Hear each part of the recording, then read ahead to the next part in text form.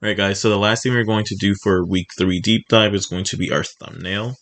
So we're going to hover over, choose a sprite. We're going to click on the paint, and we're going to, excuse me, call this thumbnail.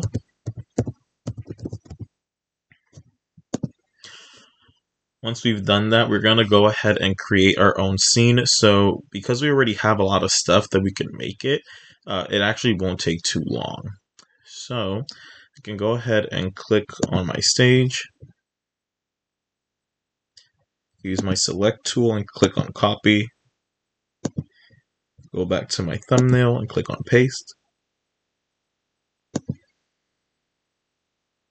I'm going to make this a little bit bigger.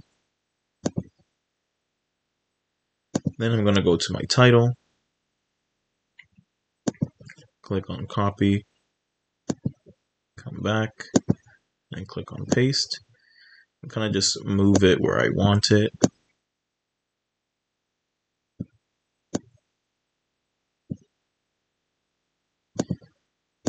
I'm going to grab my grid.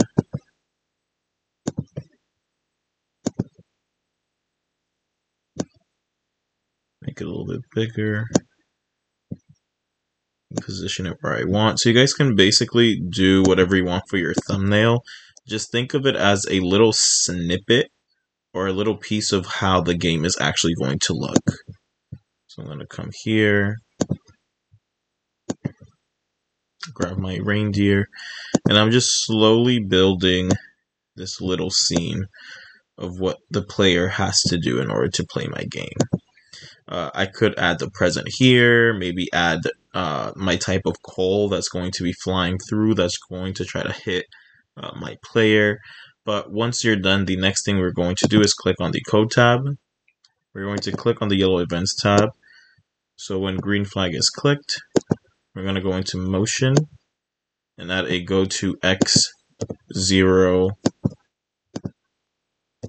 uh, Y zero we're going to go into looks and make sure that this is in the front layer.